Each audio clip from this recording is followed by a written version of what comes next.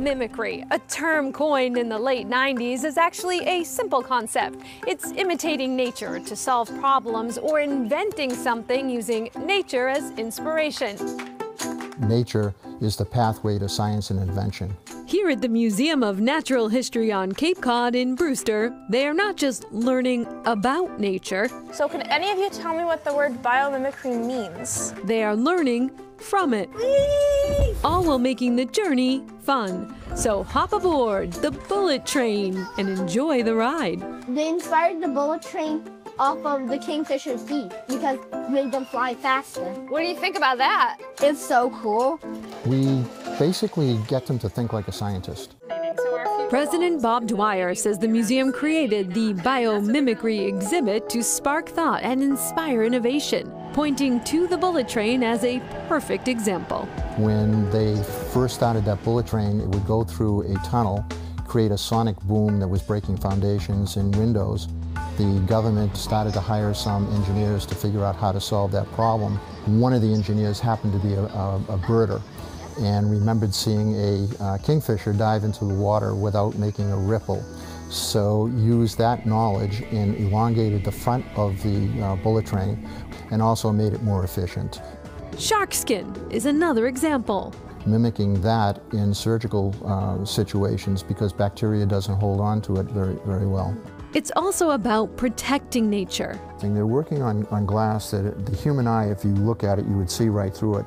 But the bird would see something like a cobweb. Giving birds a safer flight, in the same way birds guided the invention of human flight. Bricks made from mushrooms. The uh, suit that you see here is for camouflage. An innovative wetsuits made to look like the pilot fish. So the idea is um, if the shark thinks it's the pilot fish, it will not go after him, just a huge pilot fish.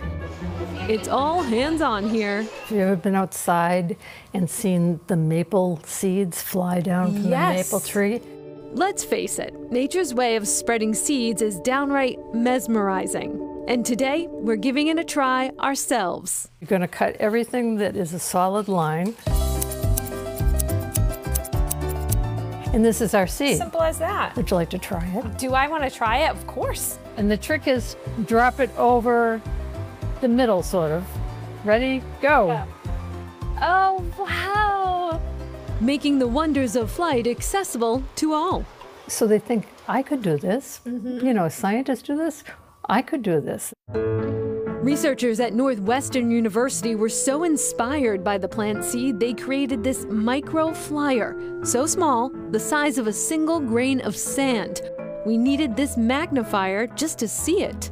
They've embedded a microchip, sensors, and a transmitter to these tiny little things, and we have examples of them right here. Fascinating. Only one millimeter. It's the smallest flying device ever made, gathering data on everything from air pollution to climate change. Thousands of these can be released at any given time, and they are biodegradable. So take flight here, get inspired, but don't forget to step outside. This is not the museum. The museum is outside, and we try and live up to that.